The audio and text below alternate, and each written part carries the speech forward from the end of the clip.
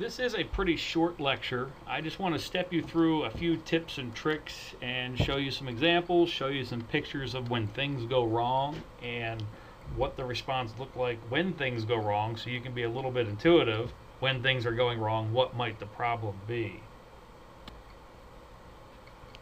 So I'm going to start off by introducing a device called a guided mode resonance filter and the reason I'm introducing this device is that it is very, very sensitive to its size and material properties. So I think it's a really good device to benchmark your codes. If you can model a guided mode resonance filter and get the correct answer, chances are pretty good that your code is working. So I think they're wonderful from that perspective. And they're kind of neat devices in, in themselves. I want to talk about some things for finite difference frequency domain for periodic structures and then also for non-periodic devices. And we kind of waved our hands a bit and we said a lot of times we're going to make an approximation that something's infinitely periodic. And I want to show you a few pictures that actually quantify that and justify where it's valid uh, to give you a feel of really what that approximation means. Guided mode resonance filters. In a guided mode resonance filter, there's two things happening at the same time diffraction and waveguiding. So we have an incoming wave and it sees a grating. So it diffracts into these multiple directions. We also have a high index region surrounded by two low index regions. So this is a slab waveguide.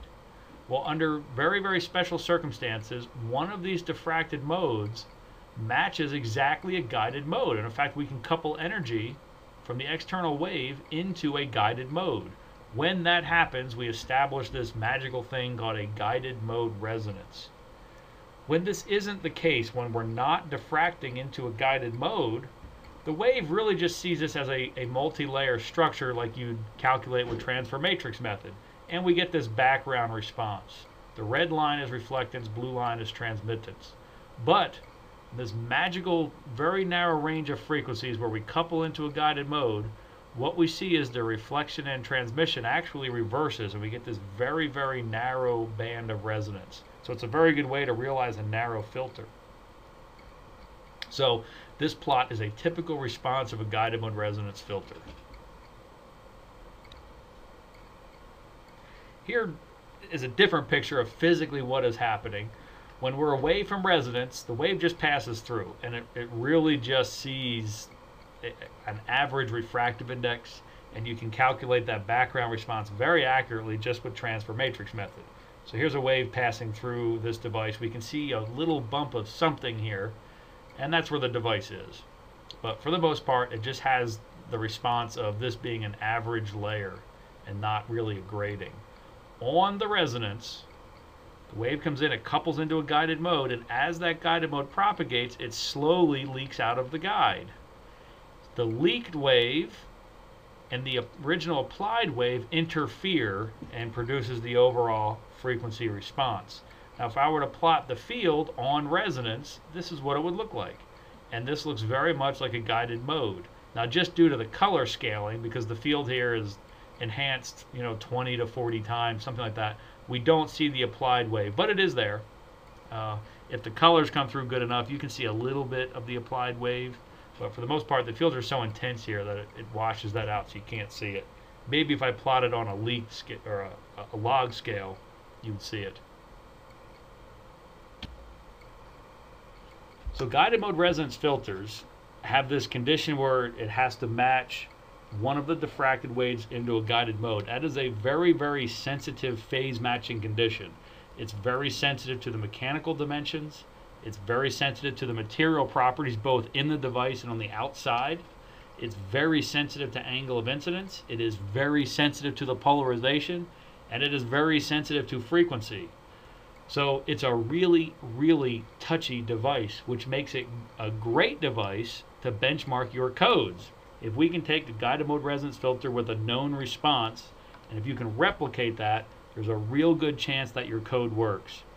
So when I develop a new code, I take it through a series of exercises to benchmark it. One of them you saw in your transfer matrix method homework where we just look at completely free space. You get 100% transmission, 0% reflection. Then we put in something with a refractive index of 3, and we should see a 25% reflection, 75% transmission, and we gradually work up the complexity to, to ring out the code. Then when we move into multiple dimensions, the next step is putting in a guided mode resonance filter. And when that works, uh, as I mentioned, a pretty good chance your, your code is working. So if there's anything wrong, the guided mode resonance filter will amplify it. But even if you do replicate this, that's no guarantee that your code is 100% working. It's just one more level of confidence that it is working. This is the guided mode resonance filter that I always use to benchmark my codes. And I don't think there's anything about this that makes it better than another guided mode resonance filter. I think the thing about this is I just am easily able to remember these numbers. But we'll model this as a 2D structure so that there'll be a, an E mode response and an H mode response. So notice the background response is pretty constant. That's what you would model with transfer matrix method. But they definitely does have a polarization response and it produces resonance at two different wavelengths. So that's all I have to say about guided mode resonance filters. Now I want to talk about finite difference frequency domain for periodic structures. A lot of this won't be a, a surprise to you, but I do want to step you through what could go wrong and what are some good practices for modeling these. So here's the basic grid setup. We're going to have our device somewhere in the middle of the grid. We're going to use periodic boundary conditions on the left and the right so hopefully whatever materials you have at the left look very similar to what's on the right. And so this would essentially repeat indefinitely in the horizontal direction. We also want a PML at the top and the bottom to absorb outgoing waves. We want some space between the device and the PML because we don't want evanescent fields. For example, we have a guided mode in here. If it's a guided mode resonance filter, its evanescent field sticks outside of this and decays. We don't want that to touch the PML. We know we're going to have a total field scatter field interface to launch a one-way source down towards the device. We need a little bit of space between the PML and where we inject the source because that's where we're going to be recording our reflected fields. And we'll record our transmitted fields down near the bottom somewhere.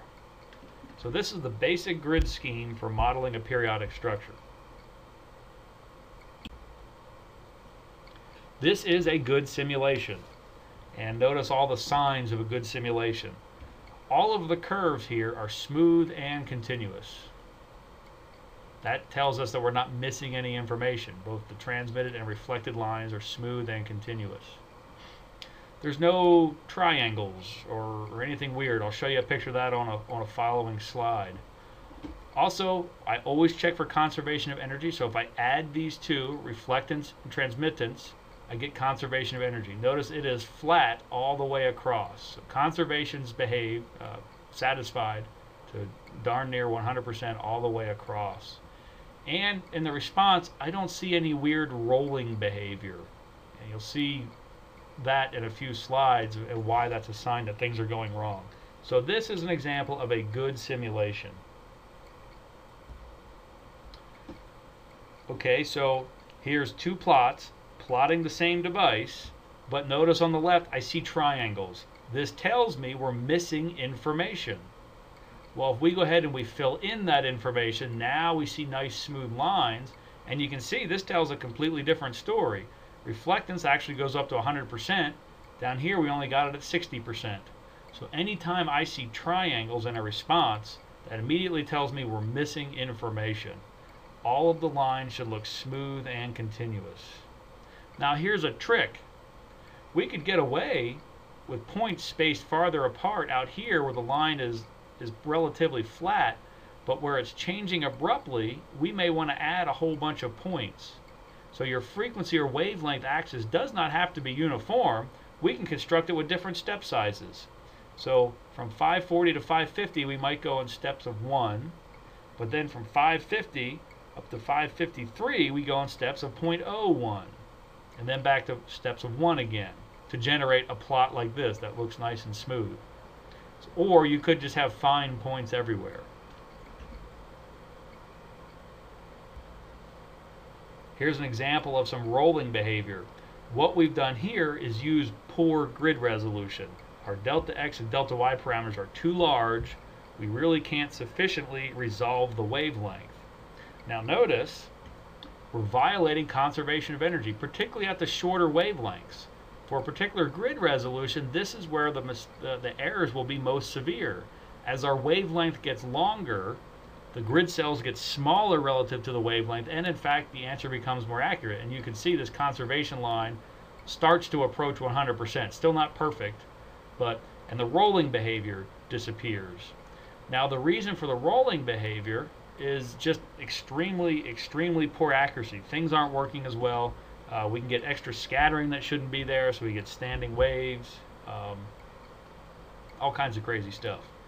Also notice that there's a shifted spectral response. This spike should be closer to 550, but it has shifted. And that's due to the numerical dispersion that we talked about. It's much more severe for poor grid resolution. So these are all the signs of poor grid resolution. Rolling behavior, but as you go to longer wavelengths or lower frequencies, conservation gets better and the answers get better. So if that's happening, that's the sure sign of a grid resolution problem. PML size. Let's say our PML was not big enough. Well, this is something that's not going to get better with increasing or decreasing wavelength or frequency. But we see a rolling behavior. That's due to standing waves. If we have a PML that's too small, it's reflecting, it's forming a standing wave, and as we change our frequency or wavelength, that standing wave moves, and we get a rolling behavior in our response. Notice conservation. It's not 100%. It passes through just by coincidence through 100% somewhere, but that just keeps going up. So our, our answer is not getting better with wavelength or frequency.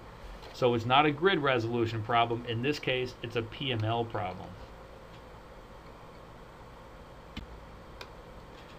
So what about this spacer region? We said we need the PML spaced about a wavelength away, and that's just a rule of thumb. We have to model it, look for the consequences of that spacer region being too small, and if we see that, we fix it.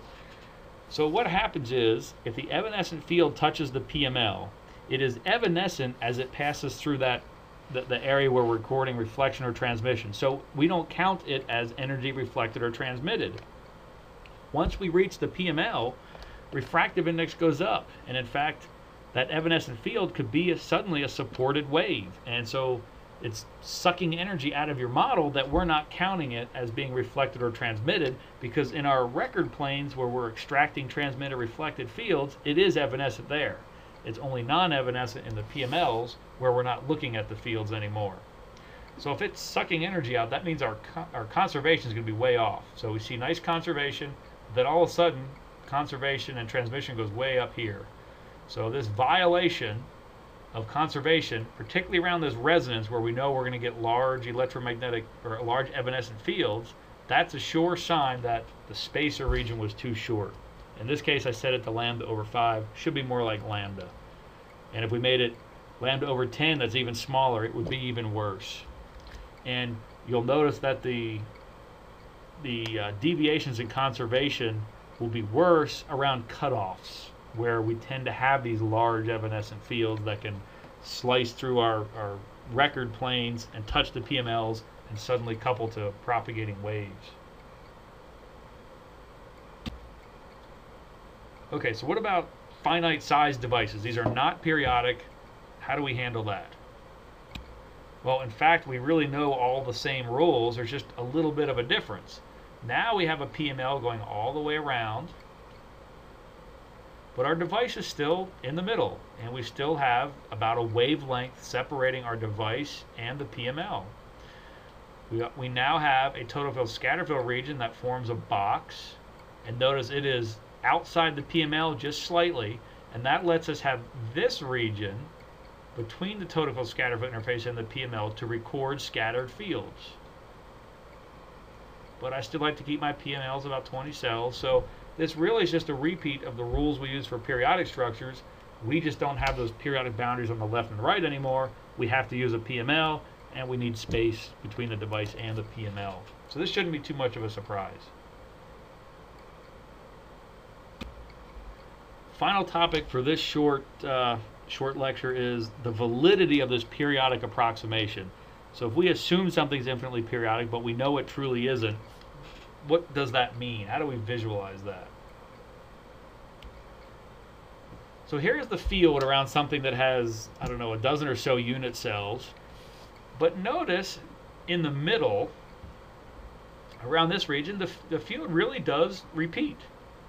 So this periodic boundary condition is going to give us a pretty accurate picture out to maybe the outer three or four cells or so. Notice it starts to change around here.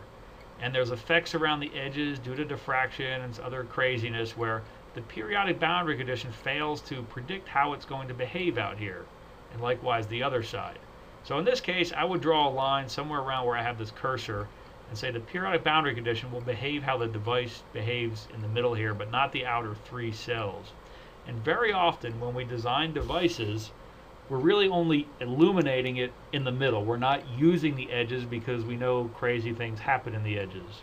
Now, if behavior around the edges is important to you, then you can't make the infinitely periodic approximation and you have to model a device like this. But this simulation that you're looking at takes probably a hundred times longer than simulating just one little unit cell. So there's more information there. We can actually play games with the edges and get it to work better, but it is a lot more computationally intense to do that. Also notice we used a PML around the whole outside for this. And notice this discontinuity. That's their, our total field scatter field interface. Now the PML regions, I actually clipped off, so I'm not showing it. So you don't actually see the wave being absorbed into that because I clipped it and it's out here. Maybe I should make this picture again and show that. But you can definitely see the total field scatter code interface.